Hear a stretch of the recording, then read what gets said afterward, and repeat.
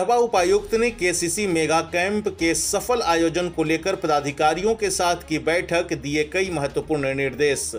आज गढ़वा उपायुक्त रमेश घोलप की अध्यक्षता में ज़िले के किसानों को शत प्रतिशत केसीसी के लाभ से आच्छादित करने को लेकर दिनांक 23 जून को आयोजित होने वाले प्रखंड स्तरीय केसीसी मेगा शिविर के सफल आयोजन को लेकर समीक्षात्मक बैठक आयोजित हुई। उक्त बैठक में उपायुक्त ने मुख्य रूप से पीएम किसान योजना के लाभुक सहित ज़िले के सभी विरसा किसानों एवं अन्य को शत प्रतिशत केसीसी का लाभ मुहैया कराने को लेकर कई महत्वपूर्ण निर्देश दिए।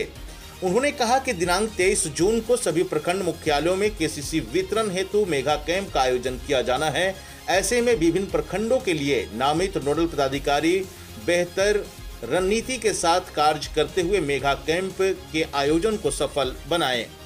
बताते चले कि मेगा कैंप के सफल आयोजन को लेकर 20 वरीय पदाधिकारियों को विभिन्न 20 प्रखंडों के लिए नोडल पदाधिकारी बनाया गया है। उपायुक्त ने कहा कि शिविर के सफल आयोजन के लिए प्रखंड स्तर पर कार्यरत कृषक मित्र, मत्स्य मित्र, जेएसएलपीएस की महिलाएँ, कृषि विभाग से जुड़े अन्य प्रखंड स्तरीय कर्मचारी, जैसे कि टी एम जनसेवक, प्रखंड कृषि पदाधिकारी आदि का सहयोग लिया जाए। तथा सभी पदाधिकारियों व कर्मचारियों से समन्वय से अधिक से अधिक योग्य किसानों को केसीसी का लाभ मुहैया कराई जाए। केसीसी मेगा कैंप के बेहतर तैयारियों को लेकर पूर्व में उपायुक्त ने सभी प्रखंड विकास पदाधिकारियों को अपने क्षेत्र अंतर्गत आने वाले आने वाले विभिन्न बैंकों के ब्रांच मैनेजर, प्रखंड कृषि पदाधिकारी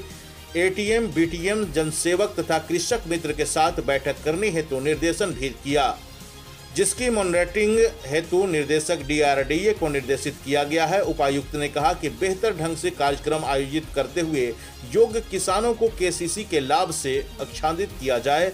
साथ ही प्रखंड विकास पदाधिकारी व अंचलाधिकारी विशेष प्रयास करते हुए बैंक में पूर्व से लंबित लगभग 18,000 केसीसी के आवेदनों की स्वीकृति भी जल्द से जल्द करवाना सुनिश्चित करेंगे। आगे उन्होंने बताया कि लगभग 11,000 वैसे आवेदन जो किसी त्रुटि बस बैंकों के द्वारा अंचल कार्यालय को वापस कर दिए गए हैं उन्हें भी आवश्यकता के अनुरूप सुधार करते हुए लाभुकों को केसीसी के लाभ से आच्छादित किया जाए, उपायुक्त ने कहा कि प्राथमिकता के तौर पर तत्काल प्रभाव से बैंकों में लंबित आवेदन तथा बैंकों के द्वारा लौटाए गए आवेदनों पर कार्रवाई की जाए तथा इसके साथ साथ आयोजित होने वाले कैंप के माध्यम से कृषकों को केसीसी लोन से लाभान्वित करने की दिशा में कार्य किए जाएँ। उपायुक्त ने पदाधिकारियों को कैंप का बेहतर प्रचार प्रसार करवाने हेतु तो निर्देशित किया ताकि अधिक संख्या में ज़िले के किसान कैंप के माध्यम से लाभान्वित हो सकें